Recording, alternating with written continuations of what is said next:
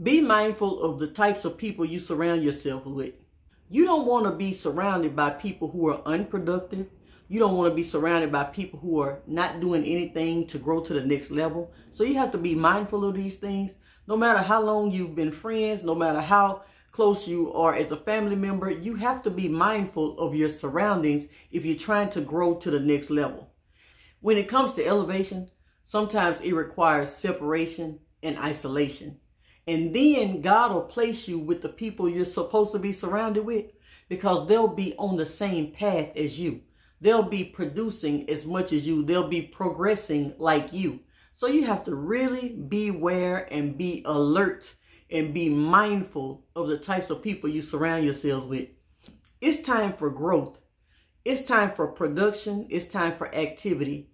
You don't want to be around a bunch of talkers. You want to be around a bunch of doers. You don't want to be around a bunch of fig trees that are not producing any figs. You want to be around productivity. So sometimes you have to cut connections because in order to grow, some things must get cut. And in order for your hair to grow, sometimes your ends have to get cut and trimmed. So you have to understand that that's a part of growth. Cutting things is a part of growth. When people are not going in your direction, you can't pull them into your direction or you can't take them up the ladder on your back. So you have to just be mindful and surround yourself with people who are already going.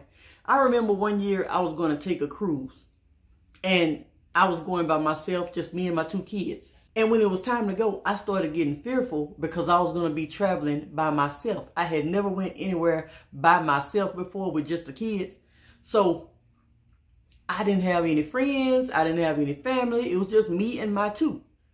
I remember when I was talking to a friend and I was saying, I don't have nobody that likes what I like to do. I don't have anybody that want to do what I want to do. He said, just get to the ship. Don't worry about that. Just get to the ship. And there you're going to find 3,000 other people that like to do what you like to do because you're on the ship all y'all like traveling because all y'all on the ship. And so that opened my mind in a different direction. Even though I was afraid because I had never been on a trip by myself before, I had never just taken my two kids with myself and without having my family members or some friends. So I was afraid, but that made me open my eyes to a new perspective. Just get to the place that you're going. It's going to be people at that place that's going to like what you like because all of y'all ended up at the same place. That's how you meet the people that are, that are on your page. Either you're at a conference and all of y'all are interested in education. You're at a conference, you're at a mastermind. All y'all are interested in growing your mindset. You at these places where you can see that these people have the same mindset as you because of where y'all meet. So this is what I want to say. Be mindful of the types of people that you surround yourself with. We are getting older, not younger. So every day is a day of making a wise choice and a decision.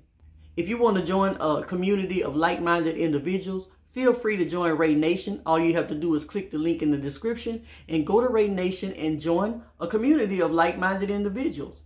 This community was created to encourage, inspire, and motivate one another along our individual journeys to success.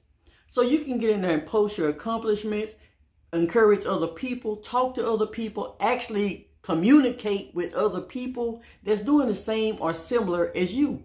This way, this is how you build relationships and connections. And guys, we must know that as we lay our foundation and look toward the future, things are going to change. Your windshield is bigger than your review for a reason. It's time to stop looking back in the past and look forward toward the future. Have a great day. Click all the links in the description and find what you need. Goodbye.